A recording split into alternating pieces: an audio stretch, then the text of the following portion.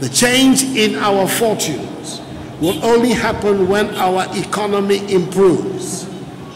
Since I became president, I've been advocating for a Ghana, indeed an Africa beyond aid, and I'm keen to have the support of all of us in this enterprise.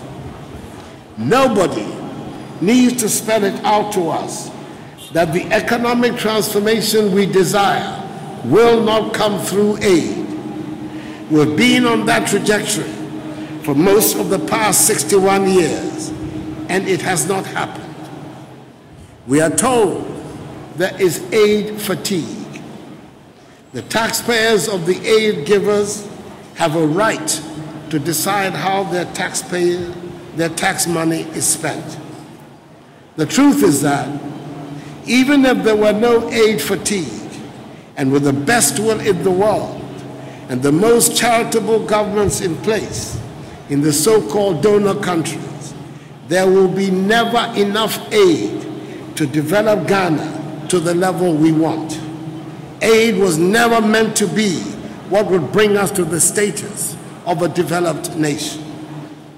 I do not, by advocating a status beyond aid, want to inflict poverty on us or thumb our noses against those who have helped us and continue to do so.